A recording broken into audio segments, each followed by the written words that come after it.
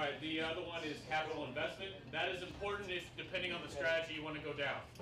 So if you decide you want to go down the Walmart strategy, you need to dump some money into capital investment. That makes your factories bigger, it lets you produce more units at a cheaper cost.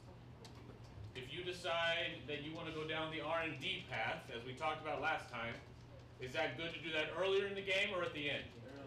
Thank you, early. And should you do it just a little bit? No, you got it. No, you gotta commit. If you're, if you're gonna go R and D path, you have to commit.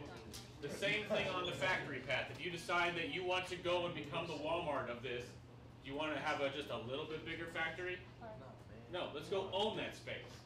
Let's go build the world's largest factory and let's just produce a crap ton of collagen right now. Okay, so I encourage you, especially in this round, this is the time to experiment, make a bold decision. Try something big, try something crazy. All right, watch your financials, make sure you don't go bankrupt. You can go bankrupt uh, if you uh, blow out all of your money and don't bring any in. Um, I will be walking around answering questions, so please flag me down if you have anything. But any questions before you get started? All right, otherwise it's the same process as before. The website titan.ja.org. It should be game three that you're logging into. And again, it's a 12 quarter game. Everybody good? Is 12 the same as the last time? 12 is the same as last time.